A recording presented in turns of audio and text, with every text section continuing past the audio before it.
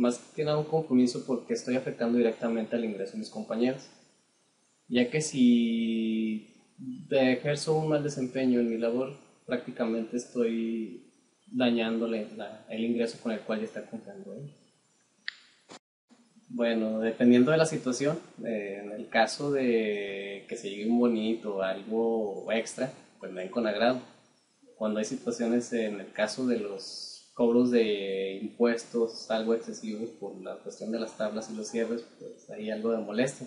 Tratamos de sobrellevarlos, sabemos la molestia porque también en algunos casos nosotros estamos en, la misma situación. Eh, la importancia de la nómina pues es básica, ya que el mal cálculo de una nómina eh, afecta directamente al bolsillo del empleado.